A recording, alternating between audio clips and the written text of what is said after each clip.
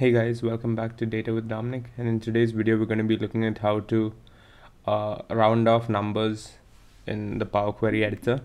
So let's dive right into the demo. As you can see I've got some uh, sample data loaded up here in the Power Query editor and now to uh, show you how to use the uh, the rounding functionalities available to us in Power Query editor I'm selecting one of the numeric columns and then we come over to this transform tab within the transform tab you have you have this rounding button. So that gives us three options.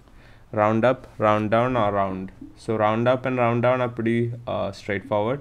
So round up basically uh, increases whatever decimal you have to the next integer value and round down is to the previous integer value. So to show you how that works we can see we've got these this unit price column with some uh, decimal values.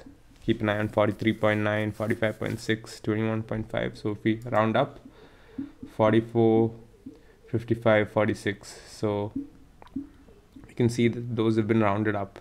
And now similarly if we round down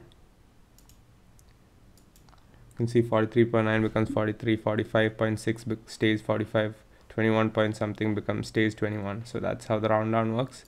And the third another interesting uh, capability of the round down uh, of the rounding functionality available to us is just the third option which is round which allows us to specify to how many decimal places we want um, the we want the numbers rounded out to. So if you can see we've got some uh, decimals like 13.25 and 23.25 where they are uh, specified till the second decimal place. So if we want to remove those and just specify till one decimal place we can click the round button enter 1 it asks you how many decimal places to round to. When you hit 1 you can see 13.25 becomes 13.2 23.25 becomes 23.2 and similar over here you can see we've got some larger or more exacting decimals. When we round those to let's say round to four decimal places you can see we get a more exacting